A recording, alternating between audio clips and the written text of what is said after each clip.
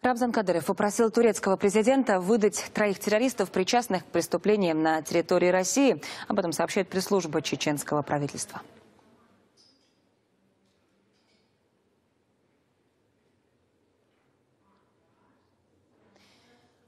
Ну вот так, накануне в Стамбуле турецкие словаки провели масштабную спецоперацию. Задержали они 8 боевиков Северного Кавказа. И некоторое время они действовали на территории Сирии. Но вот э, после этого они уже в Турцию подались. И по словам Кадырова, среди задержанных находится и несколько одиозных главарей чеченского банд-подполья. И каждый из них причастен к многочисленным терактам, убийствам военных, полицейских и в том числе гражданских лиц.